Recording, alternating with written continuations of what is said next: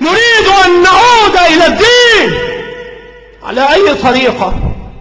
ومع أي جماعة؟ دين من؟ دين هذه الجماعة؟ أم دين هذه الجماعة؟ ما الأصول التي ينبغي أن نتمسك بها؟ وما العقائد التي ينبغي أن نصدر عنها؟ ما هو الدين الذي جاء به سيد المرسلين؟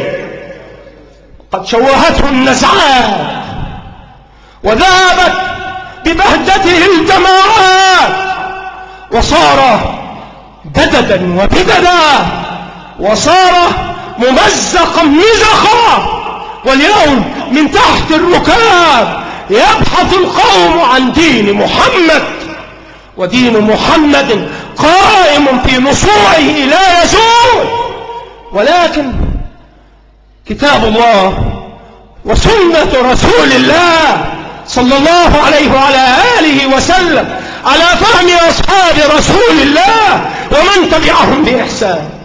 الناس في حيرة يتلددون فشعبت السبل وتفرقت الطرق وخرجت أقوام أجيال مشوهة شائعة تحسب أنفسها طليعة لجند محمد الأرض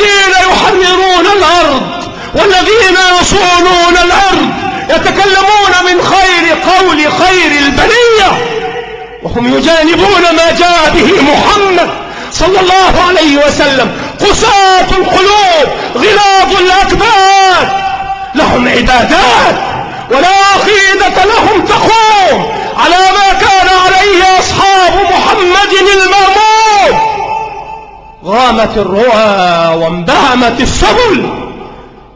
وضلت الأقدام سواء الطريق.